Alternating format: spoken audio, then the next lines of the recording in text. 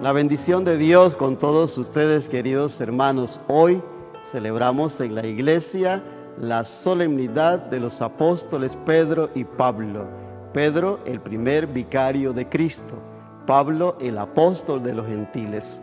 Mateo suscita una pregunta en boca de Jesús interesante para los discípulos y también para nosotros hoy. ¿Quién dice la gente que soy yo? Pedro responde, Tú eres el Mesías, el Hijo del Dios viviente.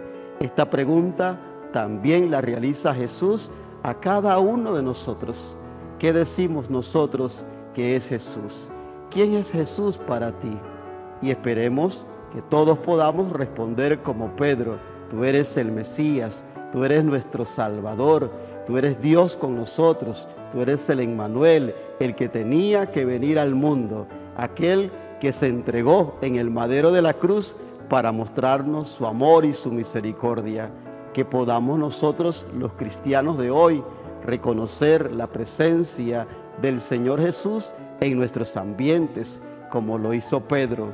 Que nosotros podamos declarar con nuestra boca, como Él nos enseña, ¿a dónde vamos a ir, Señor, si solo tú tienes palabras de vida eterna?